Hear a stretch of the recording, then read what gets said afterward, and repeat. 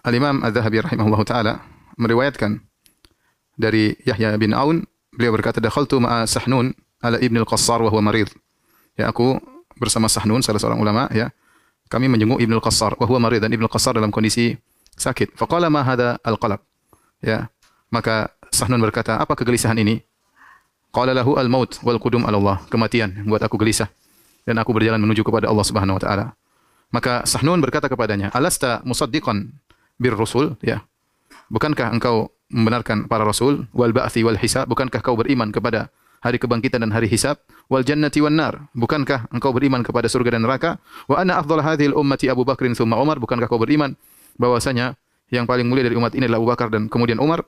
Wal Qur'anu kalamullah, ghairu makhluk. Bukankah kau beriman bahwasanya Al-Qur'an adalah kalamullah, firman Allah dan bukan makhluk? Wa anna Allah yura yaumal qiyamah. Bukankah kau beriman bahwasanya Allah dilihat pada hari kiamat kelak? Wa annahu 'alal 'arsy istawa. Bukankah kau beriman bahwasanya Allah beristiwa di atas arsy?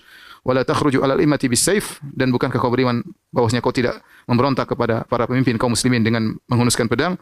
Wa in jaru meskipun mereka zalim, maka Ibnu Qasar menjawab, "I wallah, demi Allah saya beriman dengan itu semua." Faqala Sahnun berkata di ulama Malikiyah, dia berkata, "Mut idza syi'ta, mut idza syi'ta." Maka silakan kau meninggal jika kau ingin, silakan kau meninggal jika kau ingin. Ini dinukil oleh Al-Imam Zahabi dalam Sirah Alam An-Nubala. Artinya, Sahnun berkata, selama kau meninggal dalam kondisi memiliki akidah yang benar, akidah Ahlussunnah. Tadi dia sebutkan semuanya akidah Ahlussunnah, di antaranya wa annahu 'alal arsy bahwasanya Allah berada di atas, bersiwa di atas arsy, maka silakan kau meninggal di atas akidah yang benar.